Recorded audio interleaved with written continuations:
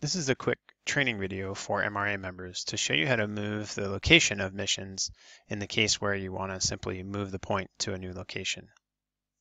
Here I have a test mission, and I'd like to begin editing.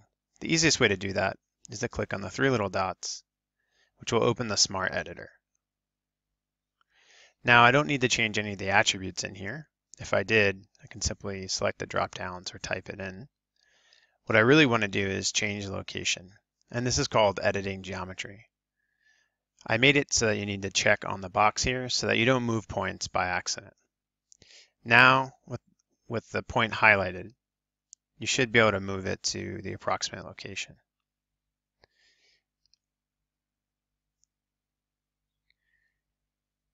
As soon as you click back, it should save your new location. An additional tool that might help you in this process is the coordinate conversion tool.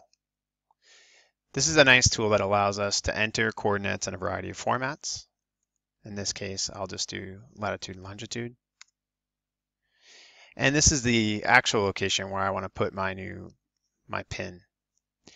If you need to enter in different coordinate notations, coordinate formats, you have a wide variety to choose from here, especially US National Grid. Now that I've identified that's the location I want to put my point, we'll just repeat the procedure from before. I'm going to click on this point,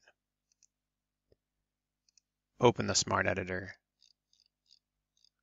scroll down to the bottom to edit the geometry, and simply move the point.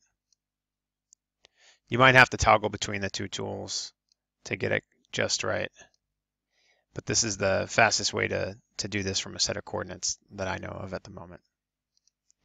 Again, click Save and back, and we should have that mission in our new location.